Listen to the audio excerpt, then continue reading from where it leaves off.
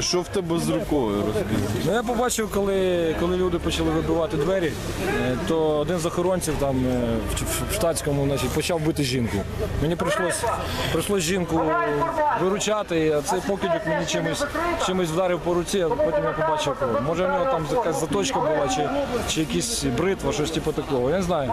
Я думаю, будуть е, запити народних депутатів по всіх фактах оцих от е, ганебних вчинків.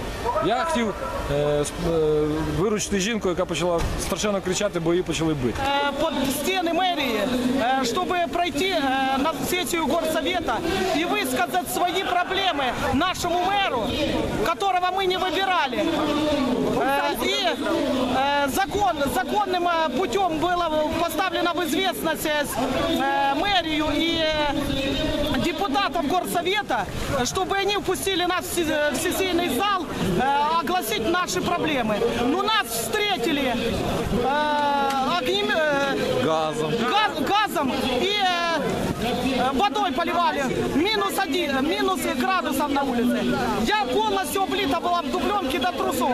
Также многие предприниматели, также многие активисты были отравлены слезоточивым газом и политы полностью водой в минусовую температуру, что законом запрещается при нулевой температуре